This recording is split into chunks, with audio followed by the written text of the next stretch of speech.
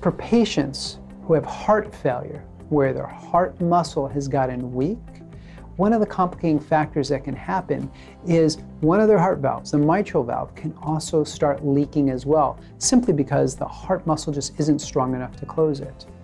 For those patients, it's a really a difficult thing as they struggle with shortness of breath, low energy, um, sometimes a lot of swelling of their extremities as well.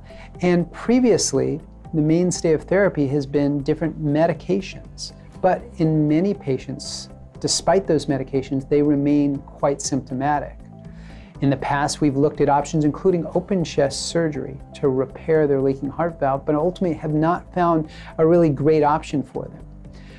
One of the novel technologies is how to repair a leaking mitral valve through a catheter with a technique called a MitraClip. With the advantages, there's no incisions on a patient's chest, so the patient gets back to living that much quicker, back healing up. What we did not know up until recently is how effective that was. So myself and a number of my colleagues around the country had embarked in a very ambitious clinical research trial called the COAPT trial, where we looked at just those patients who were really struggling with heart failure and leaking of their mitral valve. And we investigated how well did this new device, this MitraClip, work.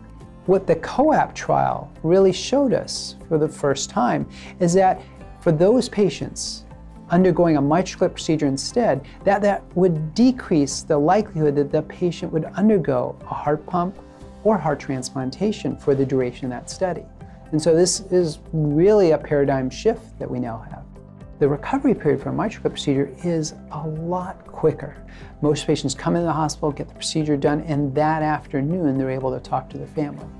And we watch them one or two nights in the hospital, usually at most, with many patients going home the very next day. So the recovery period is shorter, and we've always known that. What we didn't know until recently is how well we were helping patients get out of heart failure, how well we were helping patients stay at home and not come back in the hospital. And now we know that with a MitraClip therapy for patients with heart failure and mitral regurgitation, that we are making a significant impact in improving the quality of these patients' lives. And now we also know we're extending their lives too. At the University of Virginia, we're the one of the few sites that offered availability of a MitraClip in some format of a continued access trial or similar devices on ongoing investigation because we believe, based on the data we saw from the COAPT trial, that this can truly help our patients.